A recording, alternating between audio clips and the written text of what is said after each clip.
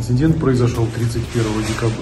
31 января 2022 года после окончания учебных занятий в седьмом часу вечера. В этот день мы заметили странное поведение э, вахтера, который нес в, в этот день дежурство.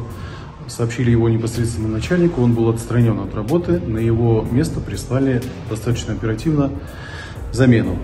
Вечером, когда произошел инцидент, э, этот человек находился в школе, ожидая э, начальника охраны для того, чтобы проследовать к месту своего жительства, поскольку он иногородний.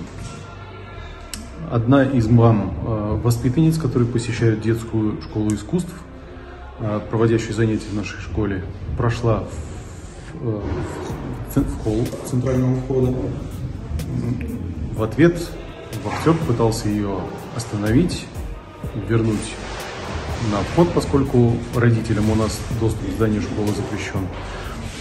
Что происходило дальше, комментировать я не могу. Я думаю, что это сделают правоохранительные органы. Мы, в свою очередь, когда узнали о произошедшем инциденте, рекомендовали маме ребенка обратиться с заявлением в полицию.